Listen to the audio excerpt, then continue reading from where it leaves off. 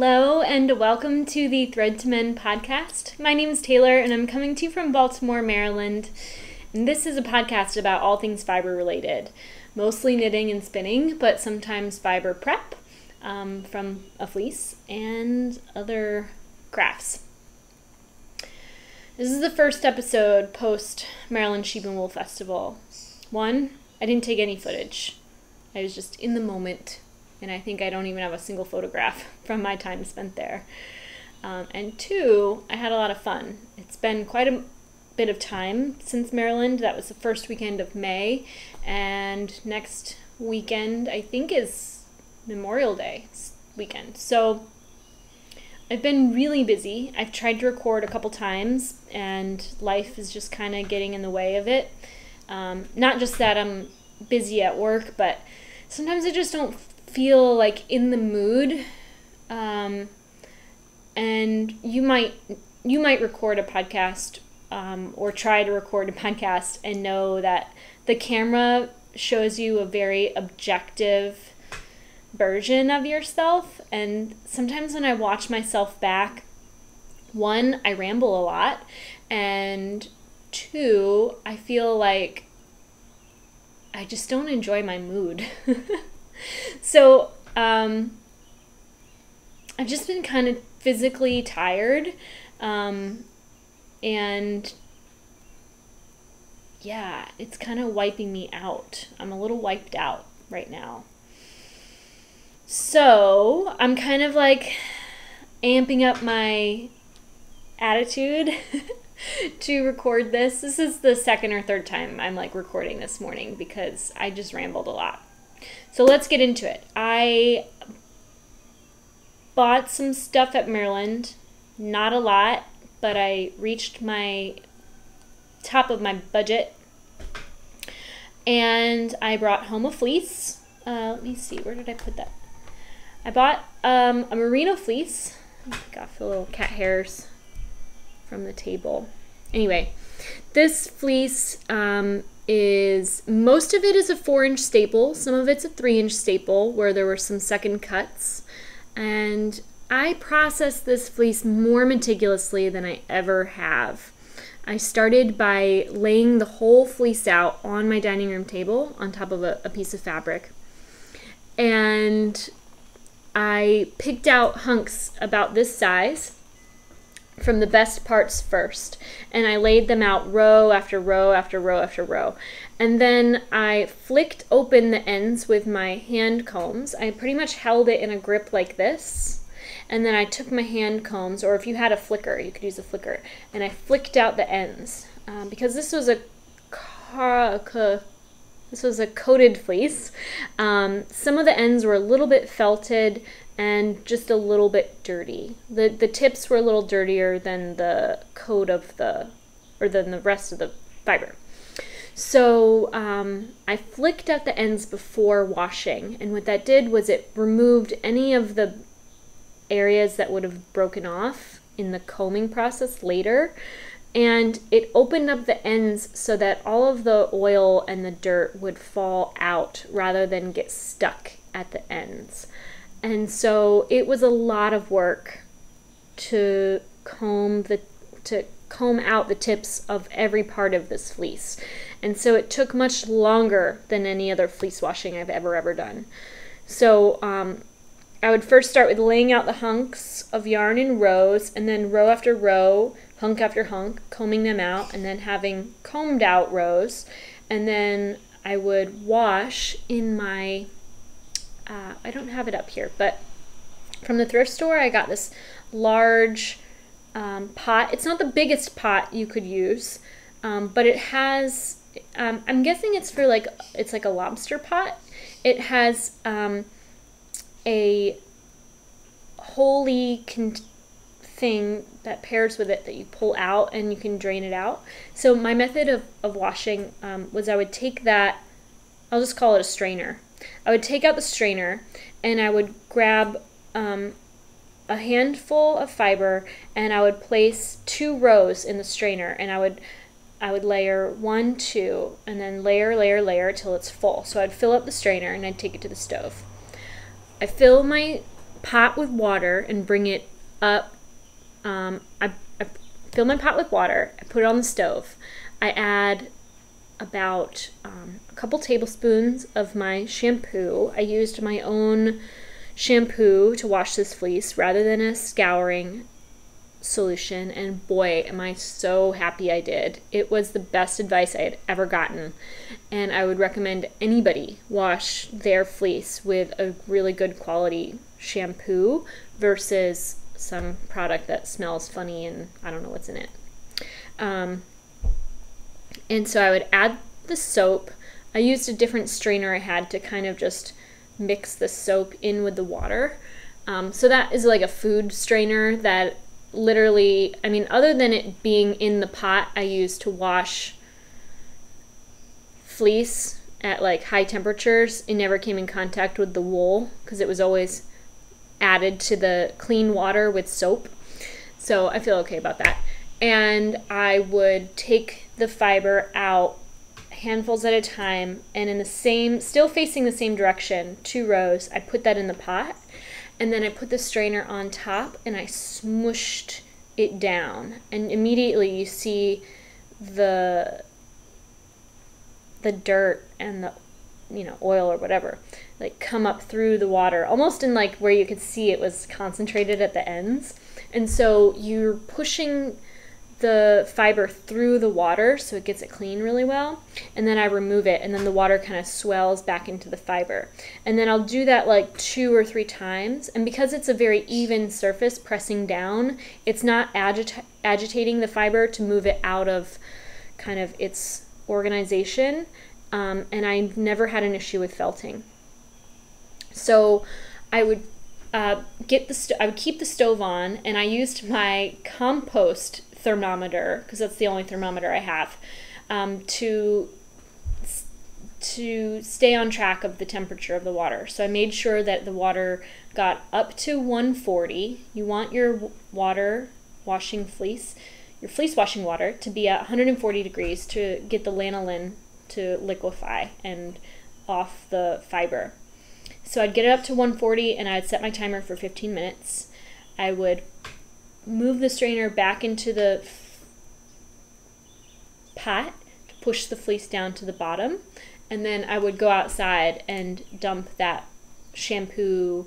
Again, my shampoo I could totally use in, it would be safe to use, um, you know, near ponds or whatever. Like it's supernatural. It's actually Carina Organics if you're interested. C A R I N A Organics. So I would dump that out into the alley and then I would turn my tap on as hot as it gets and I would put it on the sprayer and I would kind of spray over the fiber really well, and always in the same kind of direction. And then I would bring it back onto the stove and turn the gas on till it was up to 140, and then I would let that sit for 15 minutes. And then I would uh, push the strainer down, strain that out into the sink because most of the lanolin and the dirt was like removed out back. Um, it was really raining that day, so I kind of cut corners and just used the pipes or whatever. Um, generally, you don't want to put lanolin heavy water down your own pipes if you're processing a lot of wool because it can kind of gunk up your your pipes. And we have pipes that are almost 100 years old so. Anyway um, not all of them but probably the waste lines for sure. And then i would maybe do one more little bit of a rinse, especially at the bottom. But this fleece was so clean. I, I literally did one wash and one rinse, and that was it. Um, there, so then I would take my, put my like heavy duty rubber gloves on, pick it up, squish it out, put it on a towel in rows, again, organizing it kind of nicely, roll up the towel, step on the towel, and then transfer that wool onto another towel with a fan set up to blow on it overnight. And by the next day, it's mostly dry, but by the day after, it's completely dry, and then that's when I store it in pillowcases. So I finally did that with all my fleece. Actually, I still have the last day of work still on my floor waiting to be put into a pillowcase. But I realized I don't have enough pillowcases. So I need to go to the thrift store and get a couple more. Um, when I was sorting my fleece, I sorted it into three areas. I started with the very best and I processed most of that on the first day of washing on Sunday. Um, two weeks later, I got around to everything that I had prepped, and there was kind of so I finished the first quality and then I washed the second quality. And the only difference is that the staple length was quite a little bit different. The, the, the best quality was four inch staple length, and then the second quality was like a three inch staple length. But all of it was very clean and not highly concentrated with like urine or anything like that. Um, but in the second quality, it didn't get quite as clean as like the first quality because it had a little bit more concentration at the tips. And I just continued with the single bath and single rinse. Um, again, always at 140. So both the bath and the rinse were at 140 both times. So I kind of stripped the lanolin well. Um, and then I had this like third quality batch, which I like concentrated into like only two wash two like containers of washing, which really should have been like three or four, but I was done. I was so over washing fleece and it was like the end of my day. I just like needed to finish it sooner than later. And so I just did. And I only kept that and washed that for stuffing. So this is a really um, it's a really nice fleece and it's totally worth using everything I can of it. So I I salvaged all the remaining bits that weren't like I only had one bit of like poo in the whole bag, which is thank God. Um, but there was um, you know the areas around not there was not a lot of leggy parts in the fleece, but the areas like closer towards the belly or closer towards the legs or even some parts like around the neck which can be a little bit more felted because there's more like movement of the coat and stuff like that. Um, I salvaged those and I washed those and I plan to just flick them open and use them to stuff things like pillows and whatnot. Um, and those got mostly clean. I feel like I kind of really cut corners on at least one of those baths and I could have done it a better job. Um, I did kind of hand prep a little sample to see how it did, and holy smokes! Like, not only was this fleece super duper clean, I think I did a really thorough job in washing it. I think that I processed it in such a way where I made the process of washing it as important as the after wash processing where you really like comb it out. And I did so much work flicking the ends open before washing that when I got to combing this sample, it was just a breeze. Um, this entire fleece processing has felt like a lot of work, but other than the combing of the tips, it was an absolute breeze to wash because of that combing out, and it was an absolute breeze to comb because of that car- carding out. Um, so just like how I used I because of the flicking of the ends, I was able to do I was able to process it in one wash and one rinse.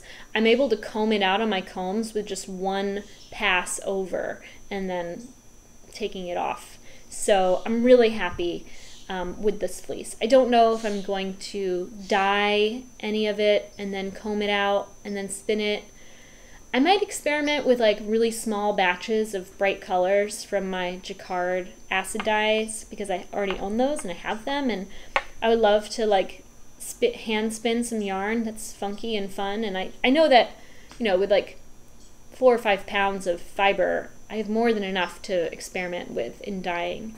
Um, I don't wear a lot of white so I'm not sure if I'm going to knit I'm, if I'm going to spin it natural, I'm sure I'll spin some natural and, and use that white for color work or something. Um, but we'll see. I've also been spinning a little bit. I started spinning the Jacob fleece that I had in storage in the basement. This fleece was given to me by a very lovely person I met on Ravelry. Um, and she bought this fleece and had it machine carded and wasn't thrilled with the result that she got and it has just been sitting in her home and she wanted to make space for new things in her life and just knew she was never going to get around to it and she graciously offered it to me for free and I started spinning it because it was weighing on me too. I was like, "Ah, oh, I have all this fiber. When am I going to start it?" And I just it's been I feel like late winter, early spring, I just blew up with projects. I started this, this, and that, and this was one of those things. So I spun two full bobbins of singles, and then I spun those singles two ply into two separate skeins. Um, one of them is about 102 grams, and one is about 112. They're both eight wraps, eight or nine wraps per inch, and I forget the exact yardage. Um, I think they came out close to 200 yards each. I do plan to knit, I do plan to spin a sweater quantity and knit a sweater with these, um, a nice outerwear sweater, maybe even a cardigan. I'm not sure of the pattern yet, so we'll see. And I finished my dandelion field shawl, which um, I absolutely adored in the making of this project. I loved the yarn, and I thought I was obsessed with Stellina Sparkle two ply fingering weight yarn. Um, but I have qualms about. I've never knit. I've never uh, sewn in the ends to a superwash and not had these little ponytails pop out. So that's kind of annoying to me. Um, but I think that the sparkle, although it's like really, really fun to knit with, I think personally wearing sparkled garments is um, I don't know. It's just it feels kind of like I'm not sure. I'm not sure how I feel about it. I mean, I'm I'm really glad that I have one sparkle object, but I don't think I'm going to become obsessed with it the way I thought I would was going to while I was knitting it. Um, my first impression of wearing sparkle yarn before wearing sparkle yarn was that it was going to be great. And now I'm like, mm, I don't know. The sparkles are kind of like a little cheesy. No offense to anybody that loves to wear sparkles, because I am happy to wear sparkles. I just don't know if I want sparkles in everything now.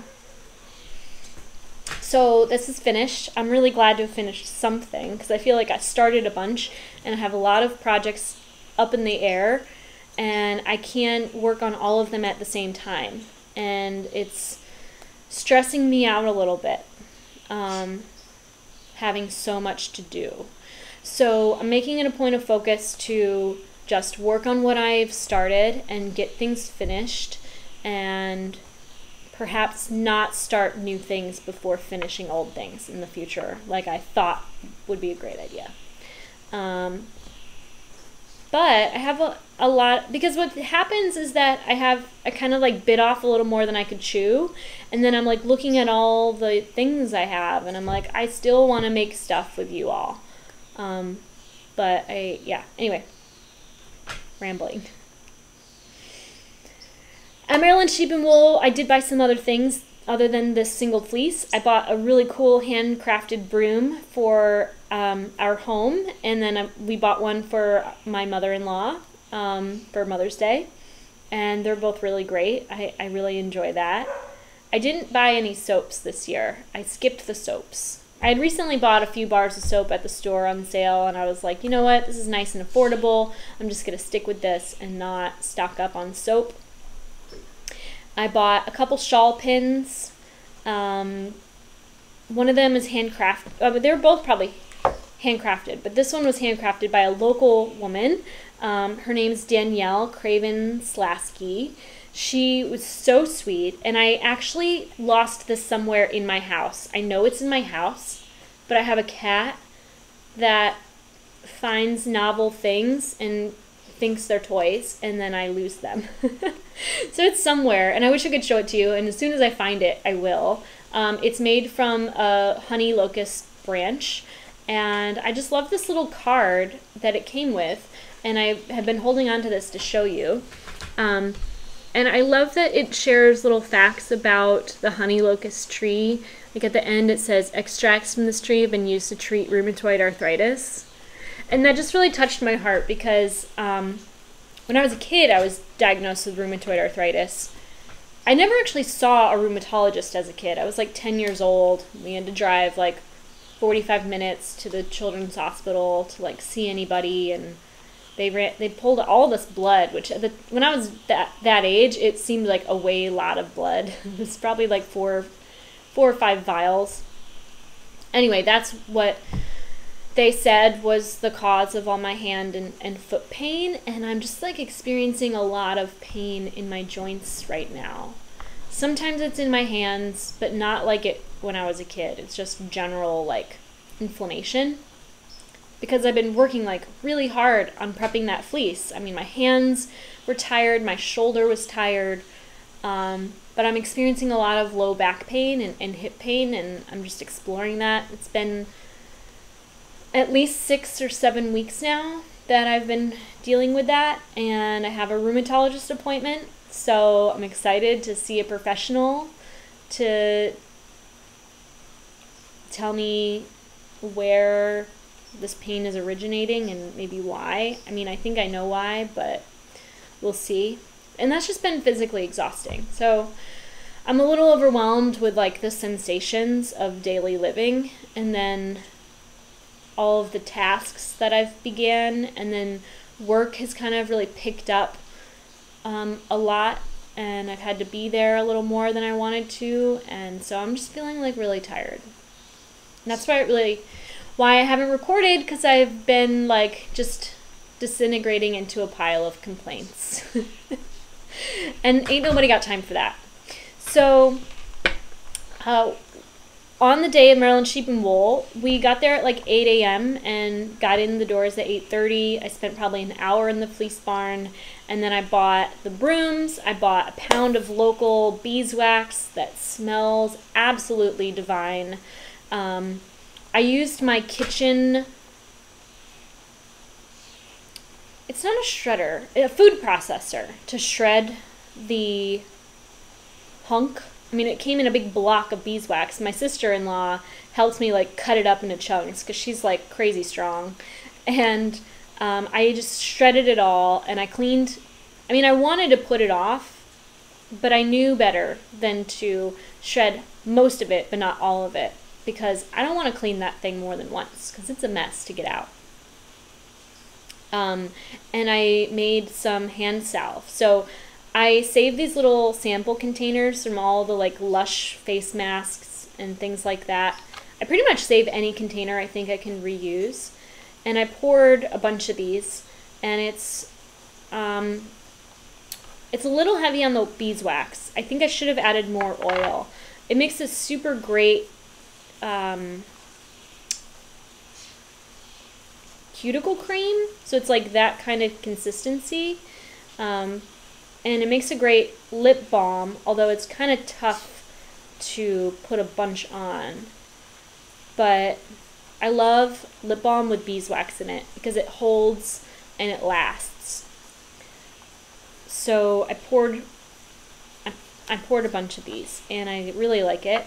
Um, I added about 50 grams of beeswax and about 75 grams of a combination of vitamin E oil, mostly vitamin E oil and argan oil, and then about 10 drops of lavender essential oil. So it has a nice fragrance to it, but honestly, I can still smell that luscious local beeswax fragrance. I I mean, I think most of our most of us have an impulse to buy something that we can't find locally on Amazon. Um, and I've just had a lot of bad experiences buying things on Amazon that I receive and they're like of a lesser quality than I had hoped. And I knew I didn't want to buy a beeswax that would kind of stink like weird. I really wanted beeswax that smelled yummy and delicious, and I got that so I'm super pumped on it. Um, and I got honey, and then I bought a sweater's quantity of yarn from Green Mountain Spinnery.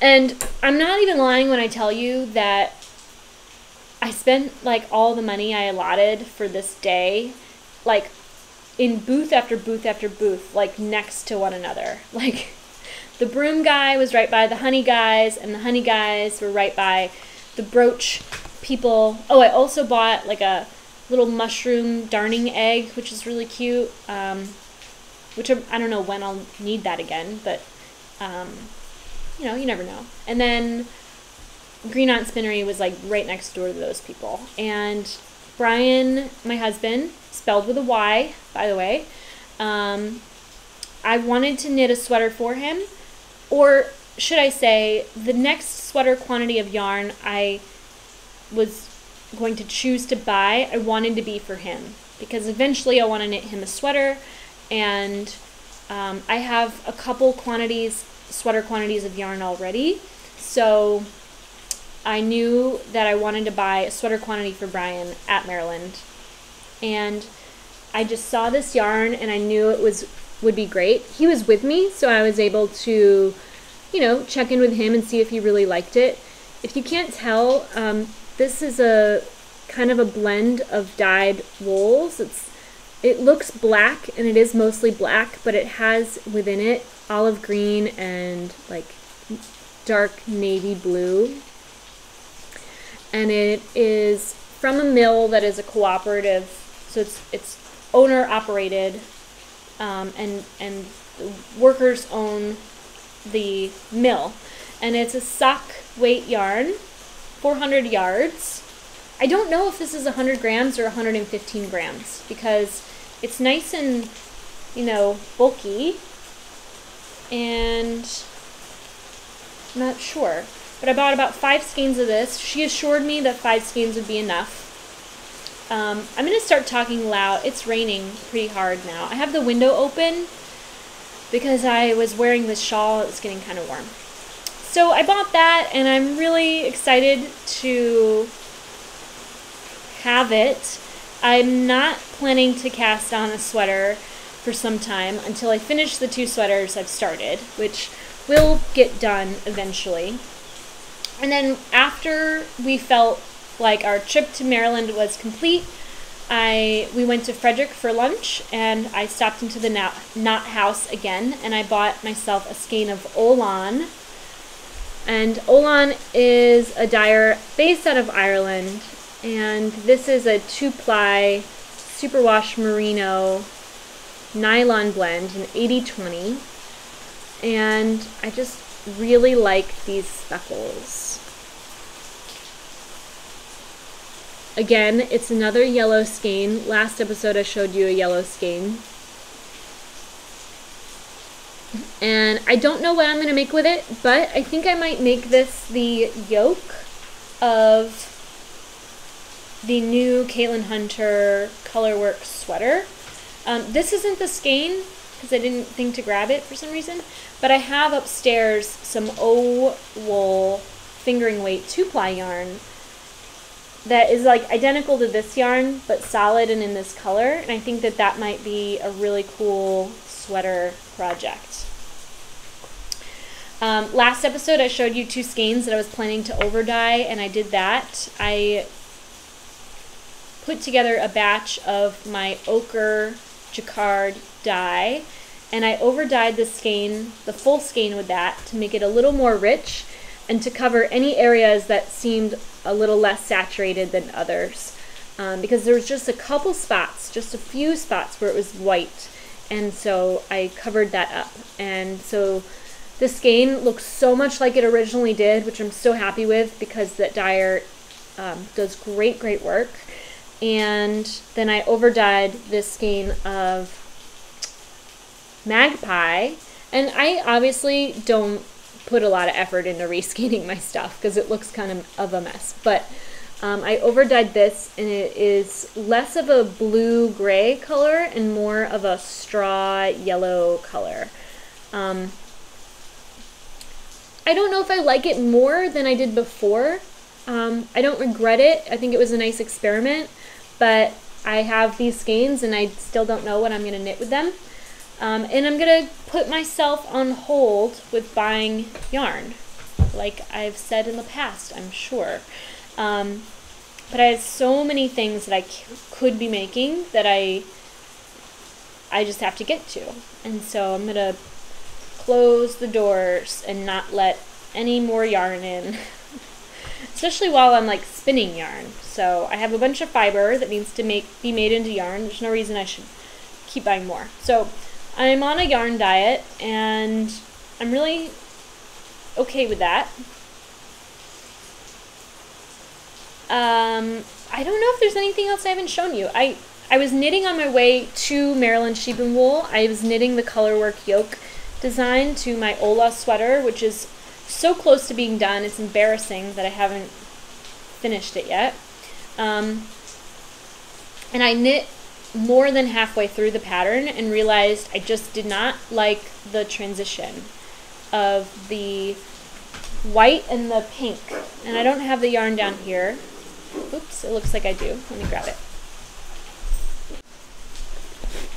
So originally, um, I was going to transition the gray into the white and the white into the pink and then continue with these other mauve colors. And I found, ship ship, shh. I found that the white and the pink had a very stark contrast. And so I decided that what I would rather do is do white to gray to pink to mauve. And I think that that contrast will be a little more subtle and I don't know, we'll see. I hope I don't regret it because I did rip out like a couple inches of color work, two ply fingering weight. um, so, I mean, I do feel like it's a little more cohesive of a blend. This was the original, and this is the. So I think like you know in the in the Ola yoke sweater, it goes blue, white, yellow, dark yellow, orange. And so I kind of looked at it as if this is a spectrum, and then this is um, like, this is a warm spectrum, and then this is a cool color on the other side of a natural white. And I thought I would maintain that, but I realized without a stark, or without like a, a real color, like real color. I mean to say these aren't fake colors, but I mean this is a, a neutral on top of a neutral, not a cool on top of a neutral. I feel like it just didn't translate the same, and so I feel like this might be more of a nice gradient that kind of transitions well. Um, and I think that the reason I'm having this issue is that these two colors and these two colors really blend together so well that the subtlety of these being very different from one another was more stark than in the original design where I think every color had a slightly less blended transition. Like you could differentiate the yellow and the dark yellow better than you can differentiate the two mauves together. So that's sort of why I'm still on this project because I started and restarted, and that'll get done eventually. And I have another sweater project I'm still working on that's had no progress since I last showed you. Um, and another sock, couple socks. I have like three socks on the needles right now, and I know that once I cast these off, I will feel much better about the number of projects I have going. Um, but this is my first Eye of Partridge heel. And this is the first time I've ever done a heel flap and gusset. And I didn't use a row counter to count my rows, and I'm having a really hard time manually counting my rows because every other stitch is slipped. So I'm just not sure how many rows I've knit and whether it's time to do that little short row thing that you do that I've never done before, or if I need to like rip back a row or two. And like, how much does it matter being on point with the total number. I mean, one thing I didn't do also was I didn't slip the first stitch. So that's not easy to count because it's very like a little rough. Anyway, I have the legs done and I just have to turn the heels, knit the foot, and then decrease the toes. And these um, socks are knit with such a thick weight yarn that it's, I don't know, maybe like 40 something stitches in the round. So these are nearly done, and yet I haven't really worked on them in the last couple weeks. Um, if you haven't already watched it, the Dunkelgrün podcast has a really great episode that just went up not long ago about wool wash. And she is like a chemist, and so she understands chemical processes in a way that I don't. And what she had to say on that podcast reaffirmed my experience with the wool wash I showed you on this podcast. I previously showed you a like little haul video of products I bought from Woolen and Company. And I said I wasn't in love with the salve, but I'm really excited for this wool wash bar. And it turns out that my first impressions are completely swapped. I absolutely love this salve and I would highly recommend it. And the wool wash is not something I would buy again. Um, if you watch the Dunkelgrün podcast, you'll see why one ought not to use bar soap for washing wool.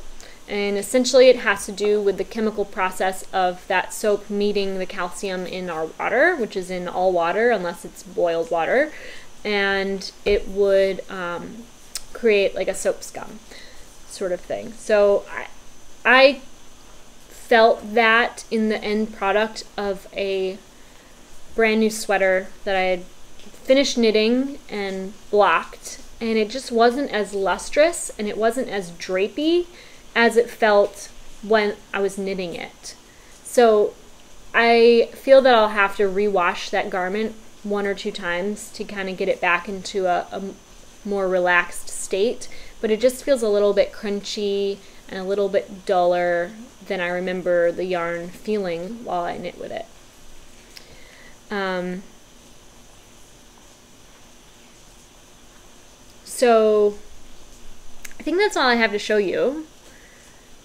I'm sorry I didn't take any footage of Maryland sheep and wool. Um, I know a lot of podcasters will show you like bits and pieces of their lives and these fiber events, but I would just so much rather be in the moment and experiencing things uh, through the lens of my eyeballs and my mouth with my husband than recording it and documenting it and um, I don't know, it's just a different experience. Um, and it's one I didn't choose, so I don't have that to show you, but you know, it's like any other fiber festival. You, you know, you go and you enjoy it and then you go home. um, I've recorded this podcast a couple times today. So I hope I reviewed everything I planned to. Um, I really enjoy recording, and yet I don't. I don't know. I don't know. I'm just. Hmm.